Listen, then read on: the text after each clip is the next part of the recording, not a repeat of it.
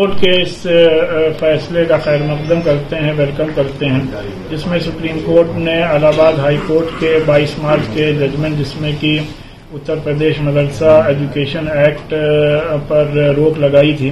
उस पर जो स्टे हुआ है, उसका हम लोग वेलकम करते हैं। और ज़ाहिर सी बात है कि यूपी में इस मदरसा बोर्ड के तहत सत्रह लाख स्टूडेंट तकरीबन तालीम हासिल कर रहे हैं और हज़ारों की तादाद में टीचर्स और दूसरे स्टाफ हैं।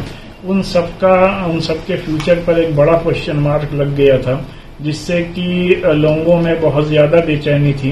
लेकिन सुप्रीम कोर्ट ने आज जो इस पे स्टे दे दिया है इससे लोगों में बहुत ही खुशी और मसरत की लहर दौड़ गई है। और हम लोग को पूरी उम्मीद है कि जिस तरीके से यहाँ मदारस में तालीम दी जा रही थी वो तालीम इंशाला फिर से शुरू की जाएगी। यूपी सरकार को नोटिस भी जारी किया है। हाँ ये एक ज़ाहिर बात एक जुडिशियल प्रोसेस है। उस पर अपना यूपी गवर्नमेंट जवाब आगे दाखिल करेगी। लेकिन बहरहाल जितना भी जो भी आज का डेवलपमेंट है, वो एक बहुत ही पॉजिटिव डेवलपमेंट है।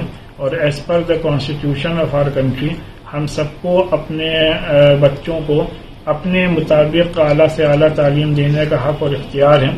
और ऑलरेडी आर्टिकल थर्टी ने तमाम माइनॉरिटीज को ये हक दिया है कि वो अपने एजुकेशन इंस्टीट्यूशन इस्टेब्लिश कर सकते हैं उनको रन कर सकते हैं।